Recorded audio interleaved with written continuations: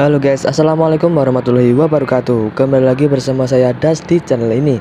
Nah, kali ini saya akan bikin konten tentang channel Limbata Unik, guys. Yaitu saya ingin beli channel Limbata Unik itu, guys. Nah, kira-kira seperti apa limbatannya? Nah, sebelum itu silahkan support saya dengan cara subscribe channel ini, klik tombol merah di bawah dan jangan lupa aktifin loncengnya biar kalian gak ketinggalan update video terbaru dari channel ini. Nah, oke, okay, sekarang saya sudah berada di rumah orang yang punya limbah unik itu, guys. Dan di sini saya dubbing ya karena gak enak kalau saya ngomong-ngomong di sana. Bisa kalian lihat ya, di sini ada banyak ikan dari mulai cana-cana kayak gini, dari baby kayak gini. Terus ada limbah taper juga di sini, ada ikan pancingan juga di sana, guys, dan banyak lagi. Dan yang saya cari adalah ini, guys ya. Limbata uniknya. Ini dia limbata uniknya, guys. Seperti yang kalian lihat ya, ini itu limbata body atau SB, tapi keris juga guys. Karena badannya itu pendek dan bengkok-bengkok kayak gitu ya guys. Jadi bisa dikatakan short body plus keris juga guys. Ini bisa terjadi karena kelainan cacat fisik sejak dari awal menetas ya guys ya. Jadi emang bawaan dari lahir, jadi kalau udah besar nanti pun kemungkinan akan tetap seperti itu badannya guys. Tapi cacat fisiknya ini itu malah bikin dia unik gitu ya guys ya, beda dari lainnya gitu ya. Dan ini itu hasil CP ya guys ya atau hasil breeding sendiri sih masnya itu. Dan usianya udah sekitar satu bulanan guys. Oke sekarang langsung aja kita bungkus limbatannya kita bawa pulang oke. Nah oke sekarang saya udah ada di rumah. Dan kebetulan tadi saya juga nggak cuma beli cana limbata aja. Saya juga beli cana pulkra dari si masnya itu ya guys ya. Karena saya suka ya jadi saya beli aja guys. Ini dia ya cana pulkranya guys. Ukurannya sekitar uh, 14 cm ya buat tambah-tambah koleksi di rumah aja ya guys ya biar lengkap gitu koleksinya. Oke lanjut. Ini dia channel limbata uniknya guys ya.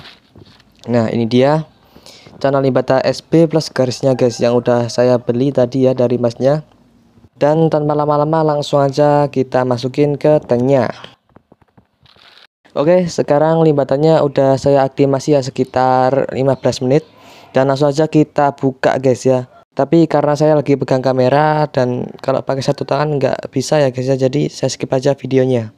Oke ini dia limbatannya setelah masuk di tanknya guys. Karena dia benar-benar baru masuk di tank jadi dia masih perlu adaptasi.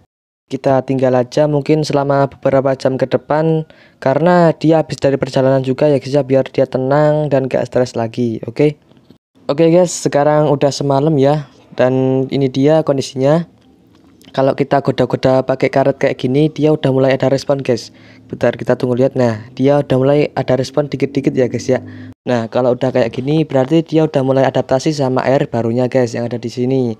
Jadi udah aman ya kalau misal kita goda-goda atau kita ajak iterasi udah aman.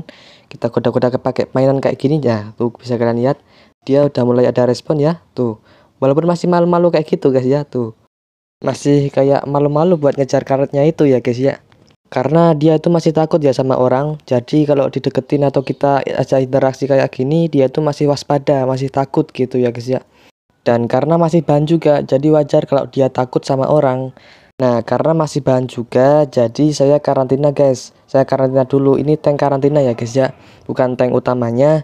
Jadi mungkin seminggu ke depan saya pindah ke tank utamanya biar dia adaptasi sepenuhnya sama air yang ada di sini. Biar cocok dulu benar-benar cocok dulu sama air di sini.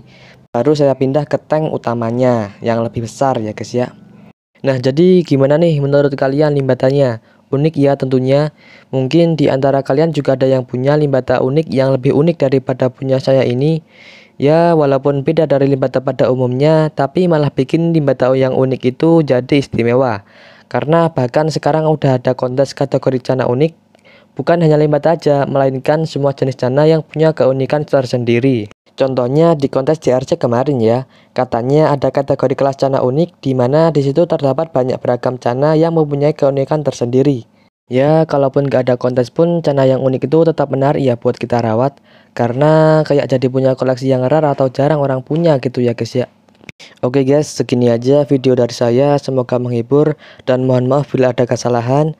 Dan terima kasih juga buat kalian yang udah support saya selama ini. Terima kasih banyak. Cukup. Wassalamualaikum warahmatullahi wabarakatuh.